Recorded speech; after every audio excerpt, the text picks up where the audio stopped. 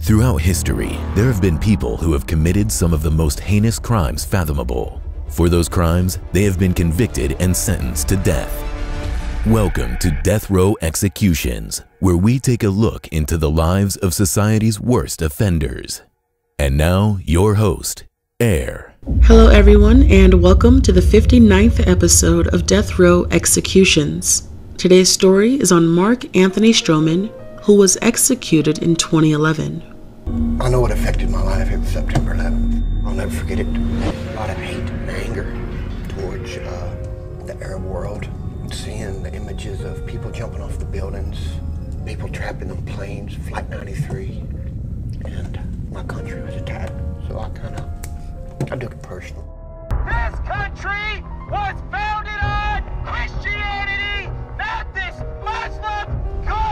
I'd run a couple of people off the road. Well, there was a lot of us out there hunting Arabs.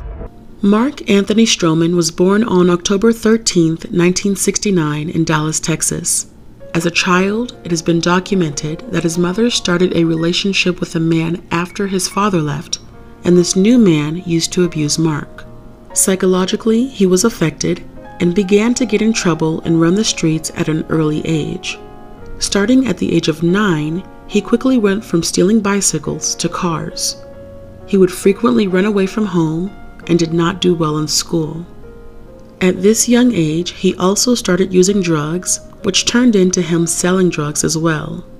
He was in and out of the Collin County Juvenile Detention Center, but always violated his probation and never completed any programs to help with his early drug addiction or behavior rehabilitation. Workers at the detention center said Mark was very troubled and was in need of counseling but did not get the proper support he needed. Mark dropped out of school in the eighth grade, and by age 12, he was now in possession of guns and was involved in an armed robbery. He ended up getting married and having a child by the young age of 15, and just a year later, he was arrested for being in possession of an illegal switchblade knife. In Texas, it was illegal to be in possession of brass knuckles, so at the age of 20, he was arrested again because he had a pair on him.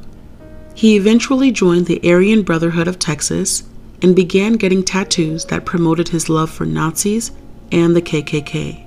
His life of crime continued, and he ended up burglarizing a man's home, stealing a lot of valuable possessions. He even stole checks and was able to take all of the money out of the victim's bank account.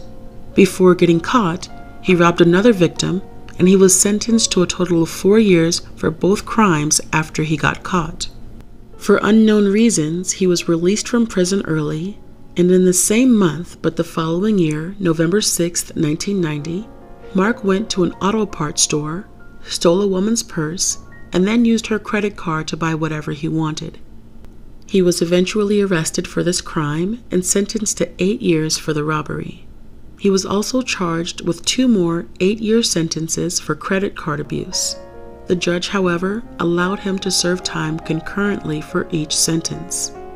On July 14, 2001, not too soon after being released from prison, he went back to his old ways and was caught with a handgun while inside of a liquor store. Even though he was charged with being in possession of a firearm as a felon and second time offender, he was able to get out on bond just a couple of days later on July 16, 2001. Months go by, and what was seemingly a normal day in America changed the lives of many in a split second. It was September 11, 2001, when planes took down the World Trade Center. The cause of the attack was said to have been by Muslim terrorists, so it sparked a lot of fear, hate, and anger in many Americans.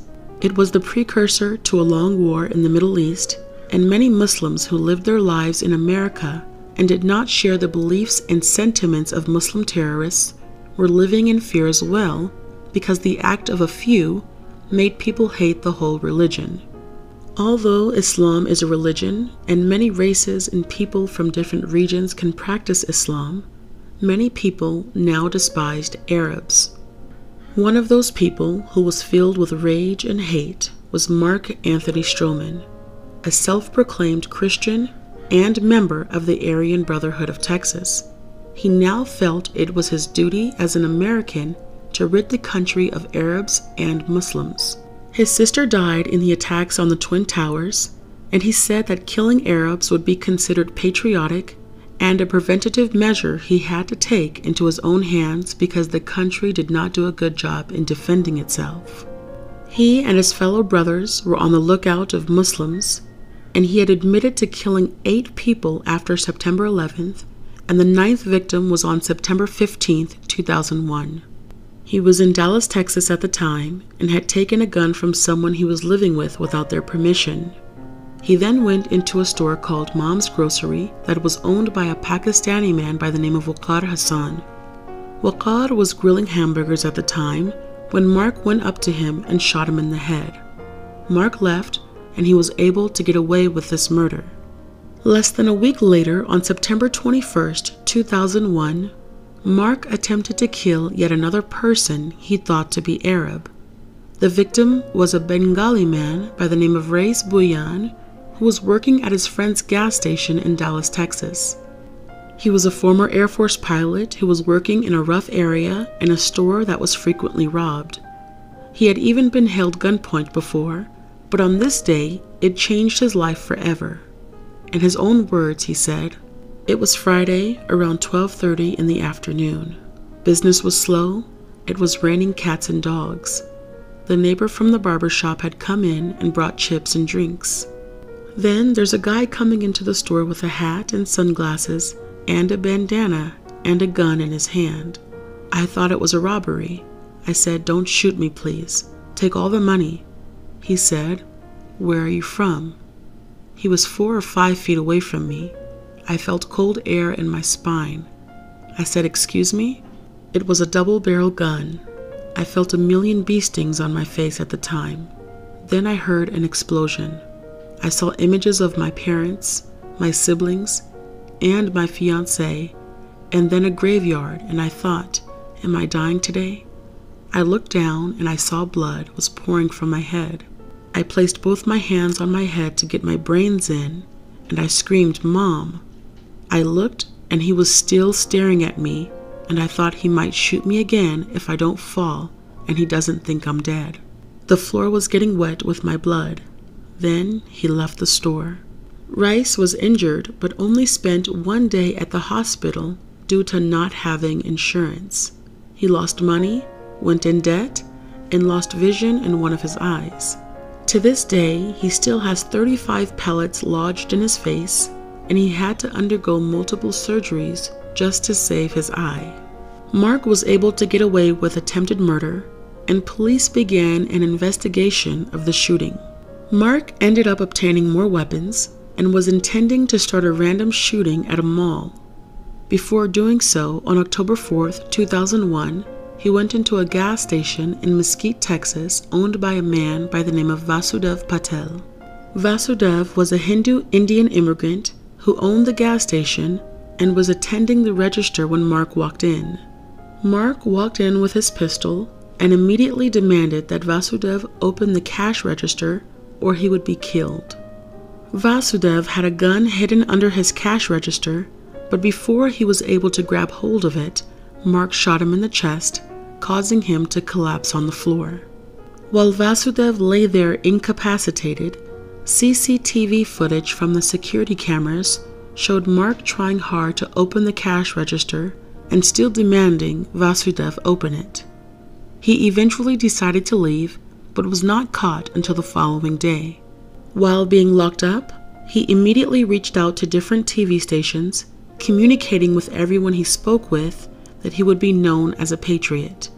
Although he did not kill any Arabs, he dubbed himself the Arab Slayer and wrote letters to friends saying the killings were revenge and that he was a special breed of American and should be the next mayor for what he did. Mark was indicted on November 15, 2001, in Dallas County for the murder of Vasudev Patel and attempted robbery. While on trial, he was aware that the family of his first victim, Waqar Hasan, was there, and he made it known he hated them by flipping them off and making other obscene hand gestures at them. He was able to testify, and in his own words, he said, I cannot tell you that I am an innocent man. I am not asking you to feel sorry for me, and I won't hide the truth. He showed no remorse, and on April 2, 2002, Mark was found guilty of capital murder. Two days later, he was sentenced to death. While on death row, he was so full of pride that he began to write a collection of poems about how happy he was with the crimes he committed.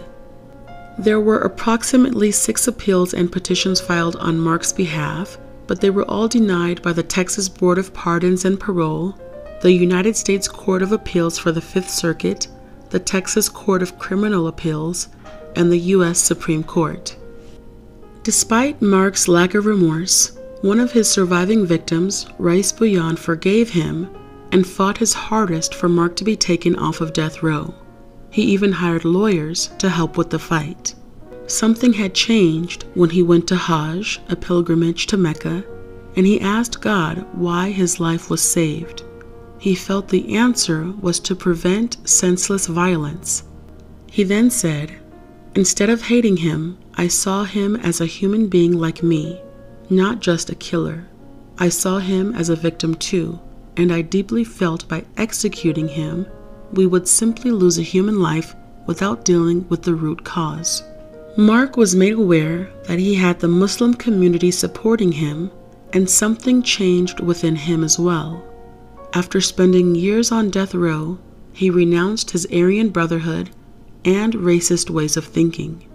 In his own words, he said, I have the Islamic community joining in my legal defense, spearheaded by one very remarkable man named Rais Bhuiyan, who was a survivor of my hate. His deep Islamic beliefs have given him the strength to forgive the unforgivable. That is truly inspiring to me and should be an example for all of us. The hate has to stop. We are all in this world together. The two were not able to speak on the phone until July 20th, 2011, which was the day Mark was scheduled to die. They made peace with one another, and Rais told him, I forgive you and I do not hate you. Mark replied by saying, Thank you from my heart. I love you, bro. You touched my heart. I would have never expected this. Rais finished the call by saying, You touched mine too. For Mark's last meal, he had a ham and cheese omelet with onions and tomatoes, fried potatoes, chicken fried steak, bacon, fried squash, fried okra, pork chops with eggs sunny side up, Dr. Pepper, and a pint of vanilla bluebell ice cream. During this time, he also found out that Rais's lawyers lost their final appeal for a stay of execution. It was now time for his execution, and he made his final words The Lord Jesus Christ be with me. I am at peace. Hate is going on in this world, and it has to stop. One second of hate will cause a lifetime of pain.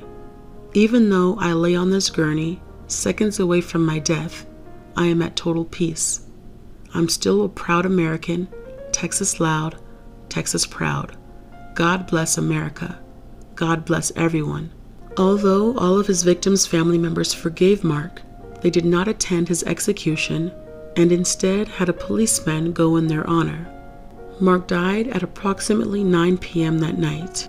While Mark was being executed, his firstborn, 32 year old Rob Stroman, was serving a 14 year prison sentence for robbery and was following in his father's footsteps. The last conversation he had with his father, he told him that he had to change. He was going down a dark path, and before he went to prison, he was in the hospital and received a visit from none other than Rais Bhuiyan, who wanted to check on him. Rob said that he was shocked to see Rais and was surprised at how compassionate he was. He made it a vow that he was going to change his life around once he got out of prison. Rais Bhuiyan quit his full time job and opened up a nonprofit organization called World Without Hate. Thank you all for watching another episode of Death Row Executions. And before I go, I would like to give a big shout out to Charlena, Lisa, Ella White, Mark Allen, and Sasha's Budget Gardening. Thank you all for becoming patrons on my Patreon.